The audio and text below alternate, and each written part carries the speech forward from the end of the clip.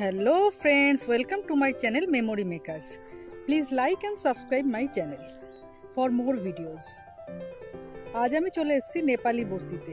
নেপালি বস্তি বেসিক্যালি একটা picnic spot এখানে আমরা একটা জঙ্গল দেখতে পাচ্ছি আর এর আশেপাশের এরিয়াটা এরকম।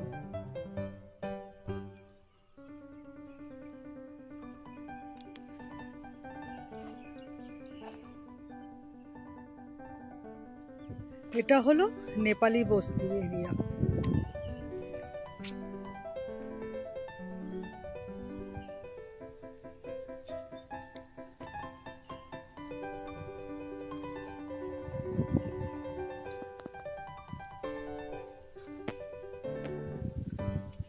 জঙ্গল।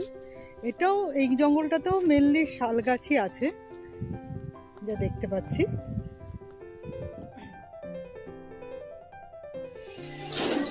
স্থানীয় ব্যক্তিরা বললেন, এটি একটি নদী, এর নাম শাহু নদী এবং এর পেছনে জঙ্গল। যদিও নদীতে এখন একদমই জল নেই। এখানে লোকাল মানুষরা ছোট ছোট দোকান বানিয়েছে। যারা মোটামুটি পিকনিক করতে আসে বা আমাদের মতো যারা ঘুরতে বেরোয়, তাদের রিফ্রেশমেন্টের জন্য। আর এই এরিয়াটা মেনলি পুরোটাই ফরেস্ট জায়গাটা বেশ সুন্দর। ছিমছাম এবং সুন্দর।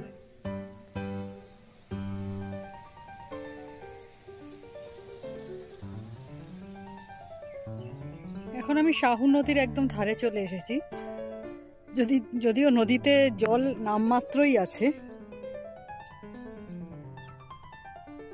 কিন্তু এর পেছনের জঙ্গলটা ভীষণ সুন্দর।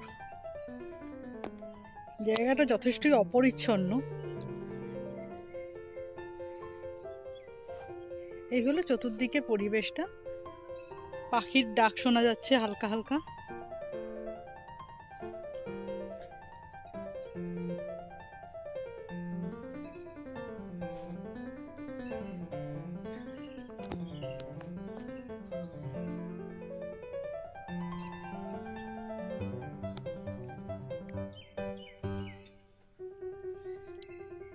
সব মিলিয়ে হলো নেপালি বস্তি।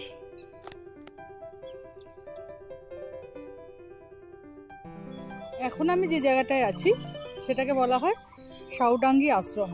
এটা নেপালি বস্তি থেকে বেশ খানিকটা এগিয়ে এসে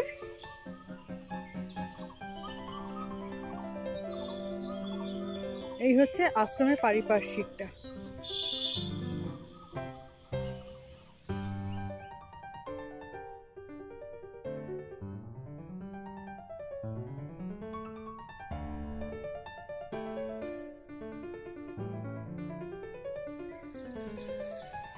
এটা হচ্ছে আশ্রমের ভেতরটা।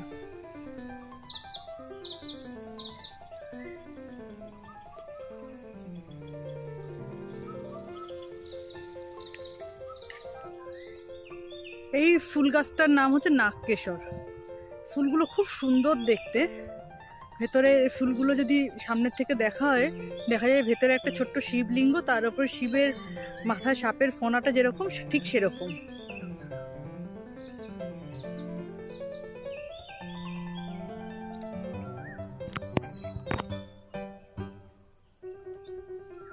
ফুলটার একটা খুব সুন্দর গন্ধও আছে। এই হলো নাগকেশরের ফুলটা সামনে থেকে। ভেতরে ছোট্ট একটা শিবলিঙ্গ, তারপরে সাপের ফোনাটা